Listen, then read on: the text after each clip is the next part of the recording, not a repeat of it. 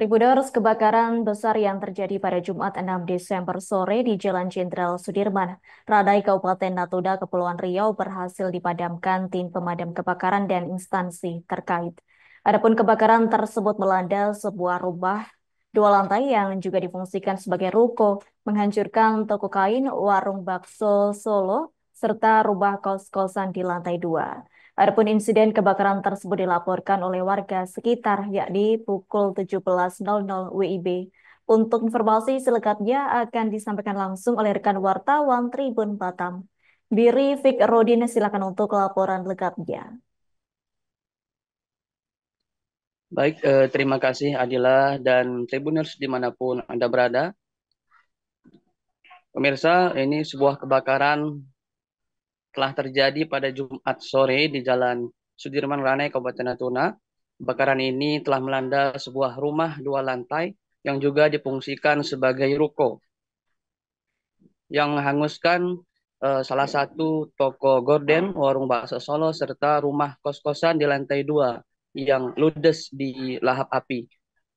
Nah, kebakaran yang dilaporkan oleh warga sekitar ini sekira pukul uh, 17 waktu Indonesia Barat dan berhasil dipadamkan oleh tim pemadam kebakaran dalam waktu kurang lebih uh, satu jam.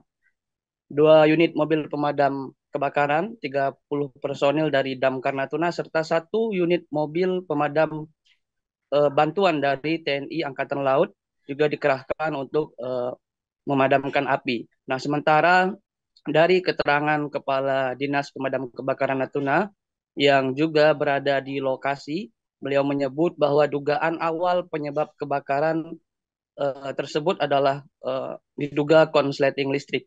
Nah, dari keterangan yang ia peroleh juga dari warga sekitar, api pertama kali muncul di ruko yang menjual gorden sebelum hingga seterusnya merembet ke bangunan lain. Nah, dikarenakan bangunan ini mayoritas berbahan kayu, nah membuat api cepat meluas dan Kerugian diperkirakan mencapai ratusan juta rupiah.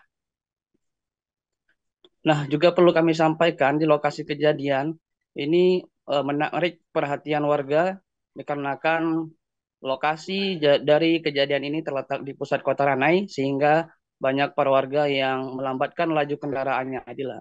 Nah, demikian laporan yang dapat kami sampaikan. Kembali ke studio. Baik, terima kasih untuk informasi lengkapnya. Silakan bertugas kembali. Tribuners, berikut kami tampilkan wawancara bersama Syawal, Kepala Disdamkar Natuna. Berikut untuk tayangannya.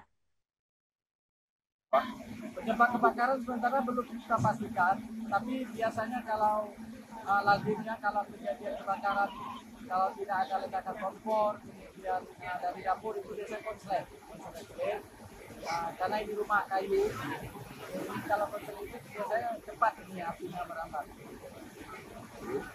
personil kurang lebih ada 30 personil. Nah, untuk mobilnya bang?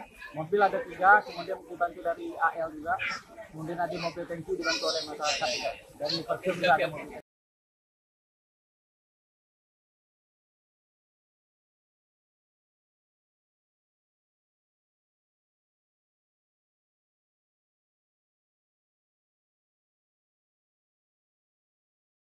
Download Tribun X sekarang menghadirkan lokal menjadi Indonesia.